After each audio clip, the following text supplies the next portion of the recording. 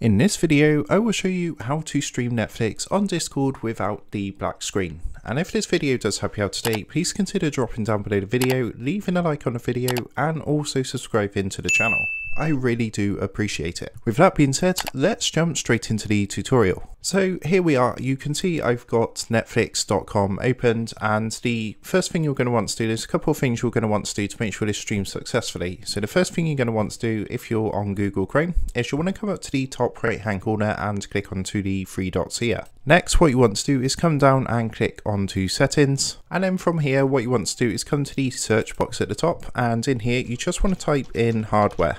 So what's going to happen, you're going to see an option come up saying use hardware acceleration when available. What you want to do first is actually turn this off. So you just want to tick the toggle box to turn that off and then click to relaunch Google Chrome. So after a minute or two, it's just going to reload and you'll see that's now been turned off. So what we now need to do is actually repeat this in Discord. So the next step is to come across to Discord. And what you want to do from here is come down to your user settings in the bottom left hand corner. So you want to click the gear icon down here. And then from here, you want to come down to app settings and then click on to advanced over here on the menu on the left hand side. And again, you will see the hardware acceleration option. So again, you want to turn this off to uh, disable this. And again, it's going to basically quit Discord and relaunch Discord.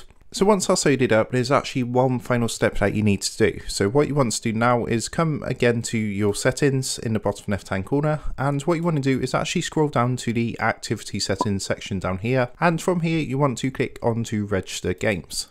Next, what you want to do is actually add Google Chrome. So if you don't have that showing up, what you want to do is where it says not seen your game and then it's got this little add it link, you want to give that a click and type in Google Chrome and you'll see that's going to come up down here. So what want to do is give that a click and then click the blue add game button here.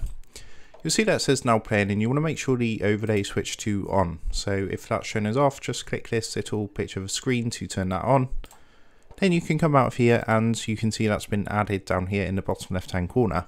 So now all you need to do is start up a voice chat. So I'm just going to go into my server and start a voice chat like so and then you want to click on to share your screen. And then from here what you want to do is share the Google Chrome screen. So you want to just have a look through these options and you want to find Google Chrome. So that's this one here and we're just going to click go live.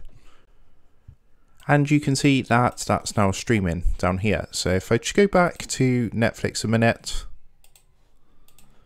I'm just gonna have that like so. And you'll see if I now come back to Discord you'll see there is now a stream. It's, it's not a black screen anymore.